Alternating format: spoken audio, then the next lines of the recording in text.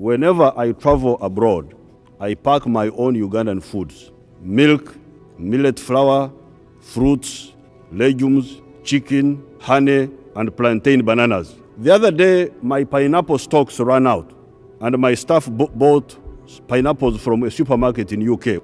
I just took one slice and terminated the whole exercise at once.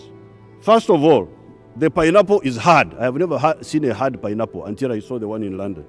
It is less sweet and has got an ammonia like pungent taste. I had had the same experience in Washington once. They brought something they called pineapple. I couldn't believe it. Why must citizens of the world endure these deprivations on account of policies designed to serve narrow interests? I will not eat pineapple again until I go back to Uganda.